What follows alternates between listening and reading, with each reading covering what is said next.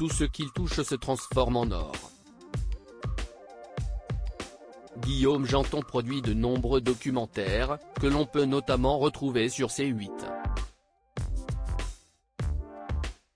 En semaine, il est en outre sur le plateau de Touche pas à mon poste et est aux commandes de l'émission radio Le Morning sans filtre, sur Virgin Radio, de 6h à 9h30. Dans cette dernière émission, il a d'ailleurs fait une confidence qui a fait réagir le 18 octobre.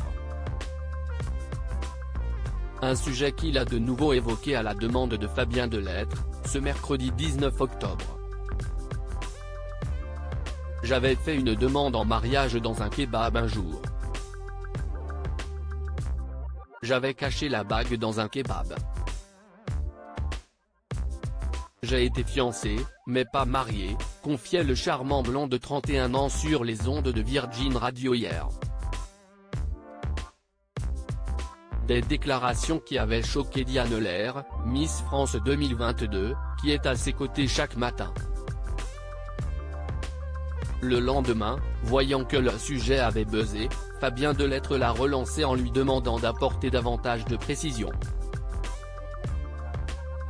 J'ai déjà été fiancé et finalement, ça ne s'est pas fait.